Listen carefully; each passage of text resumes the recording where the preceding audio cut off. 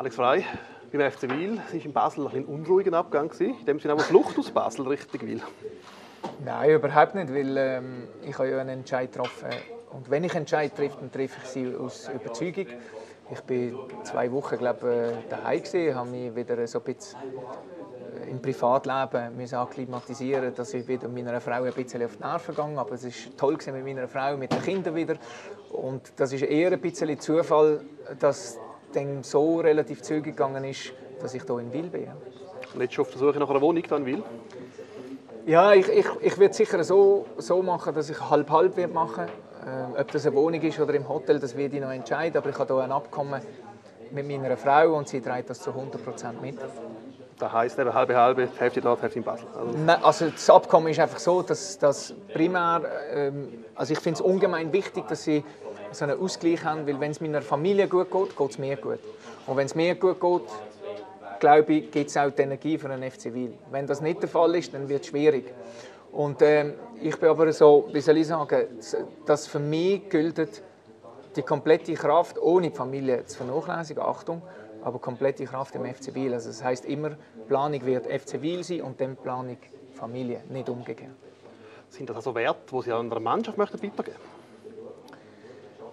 Ich weiß, dass ich als Spieler vielleicht nicht immer so ein wahnsinniges Vorbild war für, für gewisse Werte, aber ich glaube, dass man sich als Mensch und Typ ein bisschen entwickeln kann und wenn man so ein bisschen eine Selbstreflexion macht und wenn man gewisse sagen mal, tiefe Täler durchläuft, dass man dann durchaus Schlüsse ziehen kann, die einem den Charakter ein bisschen verändern.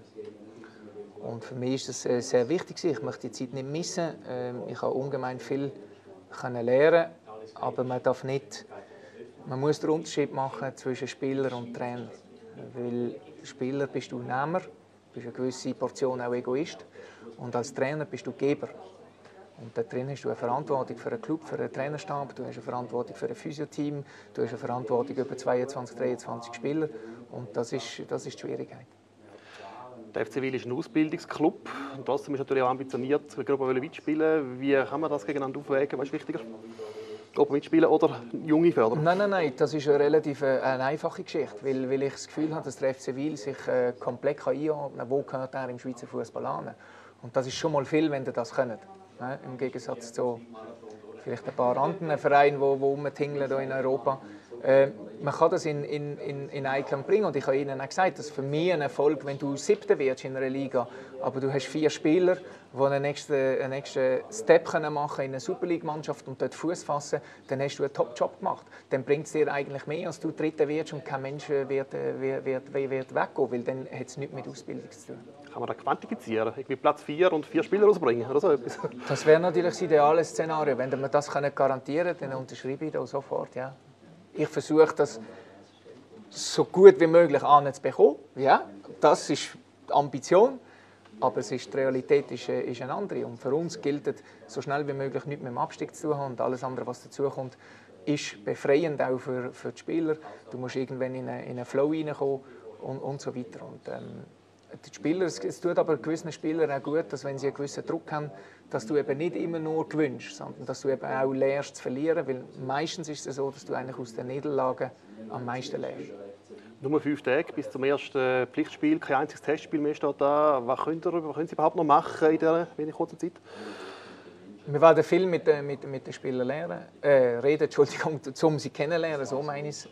Äh, es gibt gewisse Sachen, die du relativ schnell kannst einbringen in der, in der Trainingseinheit. Aber das wird ein längerer Prozess. Das ist so, bis wir dort kommen, nach der Idealvorstellung, wo ich gerne möchte sein.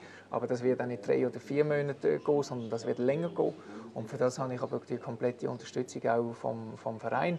Wir werden versuchen, so erfolgreich wie noch möglich zu spielen. Wir müssen aber auch ein Tick äh, flexibler werden in das Spielsystem.